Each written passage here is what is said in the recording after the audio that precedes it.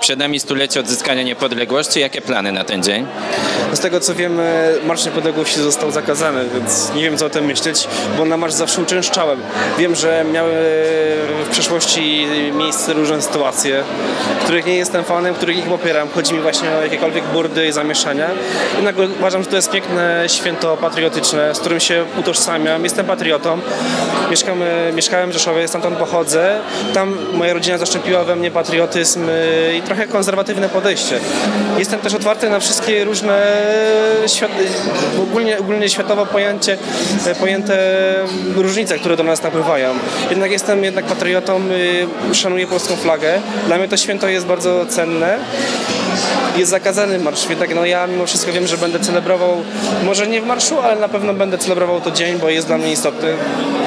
Ale oceniasz negatywnie te decyzje pani prezydent Warszawy?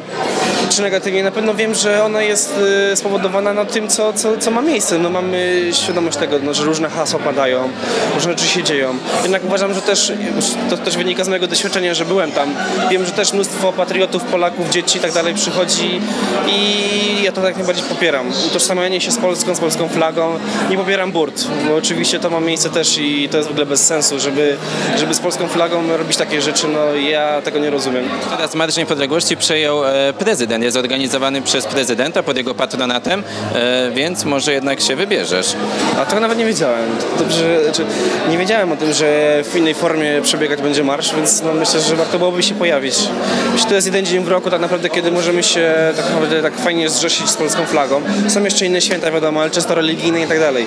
Tutaj mamy po prostu totalny, totalny możliwość totalnego po prostu epatowania polskością, więc czemu nie? No, mamy jeden dzień kurczę w roku, kiedy powinniśmy, chociaż naprawdę ja nie jestem za tym, żeby robić burdy, psuć, psuć ten wizerunek tego marszu i, i naprawdę no, jestem za mniejszościami, za marszami równości, za wszystkim jestem.